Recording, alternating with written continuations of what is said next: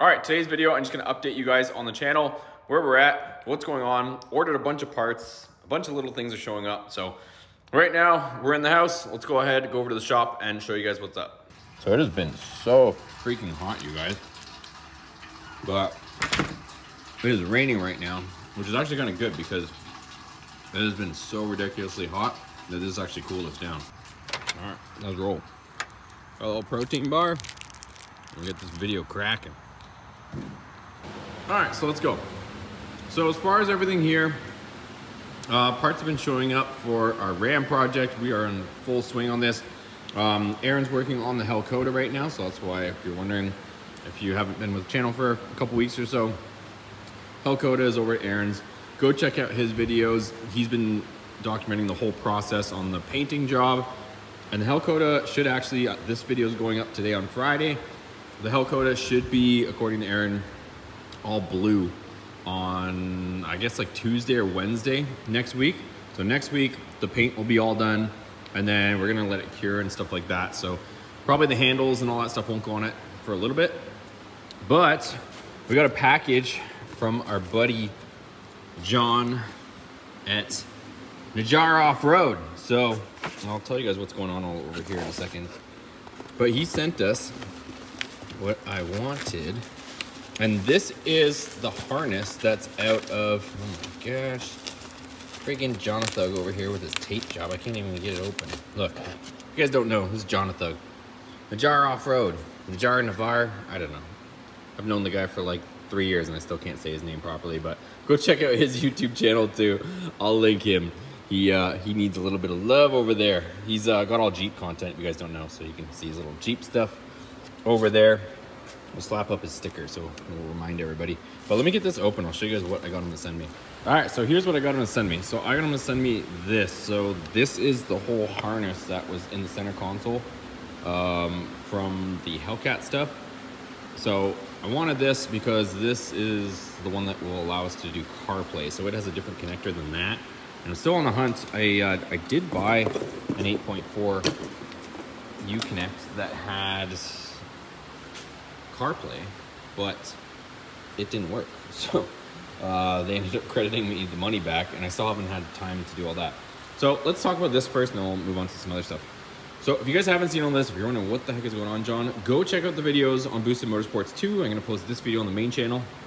This is the Hellcat motor that we're putting into here. Uh, we tried to do a leak down test, and it showed a little bit of issues. And on further inspection, it ended up being not that serious, which is obviously a good sign. But um, required a little bit of TLC. So we took it all apart. I'm cleaning everything, reassembling stuff, checking everything, and make sure she's good to go. So we're doing, this is our health check that uh, got out of hand. So we got all the valves out of both heads. You can see them all lined up there. This head I just got cleaned. And then uh, this one I still have to clean. You can see it's all so kind of gross looking. And then I've talked to several people now that have said that they believe this blower is still good. Um, as far as some of the little marks in the coatings, like just those few little marks, they said they've seen that on other used blowers and it's uh, not indicative of it being messed up. So there's that. And then on other news, this just showed up too. So th this little panel that I was missing, if you guys watched the video on how to install the seats, if you remember, you'll know that I was missing this little trim piece. So I got that little trim piece, so we'll put that in there. And then I also received these, if you guys remember from the console install video. I was missing these trim panels. So these showed up on both sides. These were the parts that LKQ decided to kind of mess me over on and not include them and then not give me a refund either. So super cool experience with LKQ. Uh, as far as other stuff though, today since it was so hot out, I didn't do a ton of stuff inside the shop. Uh, it was like there was like heat advisory warnings popping up on my phone, so it was uh, a very hot one here today. But what I did spend a lot of time on today was research and stuff for parts that we need to get this thing done. So not only do we just need the engine, but we need a lot of other stuff, wiring harnesses, brackets, uh, supercharger coolers, all that stuff.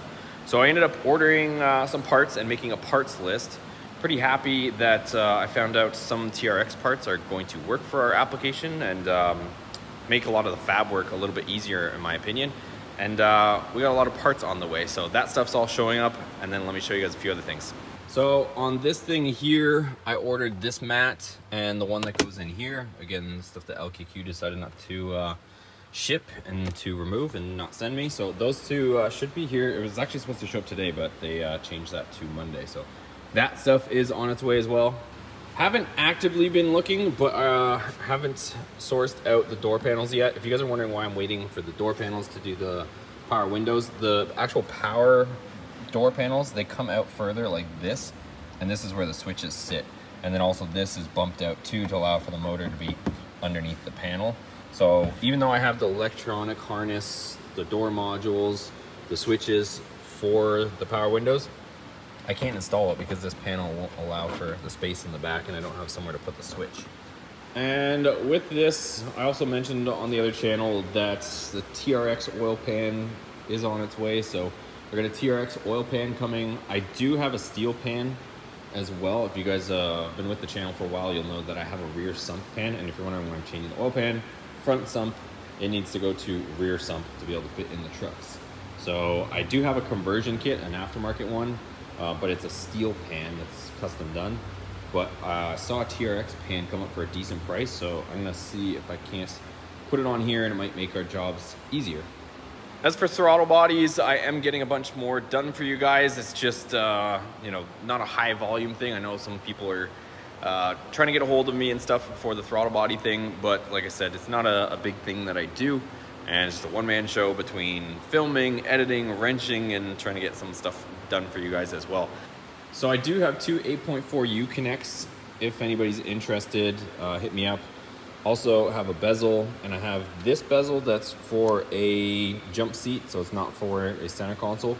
If you guys want to upgrade your dash bezel, and I also have the same gunmetal one that I removed from here. So if you guys want a gunmetal